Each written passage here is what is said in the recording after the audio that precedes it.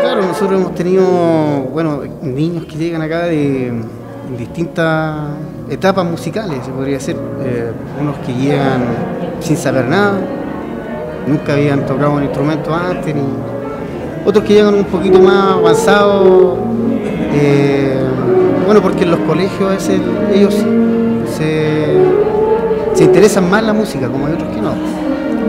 Entonces llegan niños que saben un poquito, entonces nosotros lo, evaluamos y lo, lo, lo dividimos por etapas, de iniciación, de intermedio y unos que son más avanzados.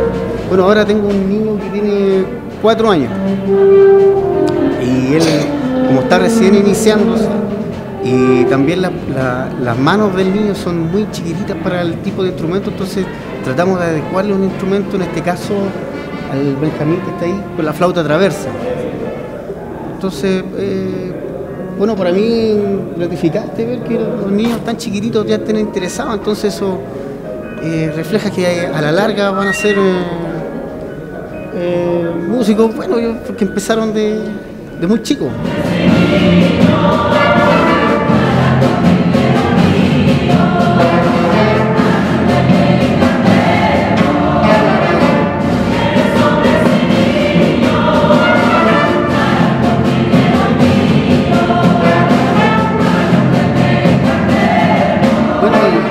Creo que lo inspiro es. eh, les muestro videos. A veces les muestro eh, grabaciones solamente de audio. En este caso, a los niños de saxofón les muestro un, un saxofonista con un sonido eh, para ellos imitar.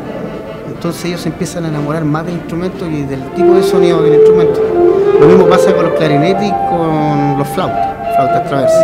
Expectativa, lo más grande ya, ya me gustaría verlos tocar en un grupo grande, orquesta, los avanzados, así tanto de iniciación igual, pues, después de un largo recorrido, porque la- este camino de la música y el aprendizaje eh, no termina nunca como músico, en este caso me puedo poner yo de ejemplo, yo todavía no termino de aprender lo que es música, todavía me falta, o sea, la música hoy en día ha roto esquemas, entonces sigue, cada día se va poniendo más difícil y más y hay más competencia.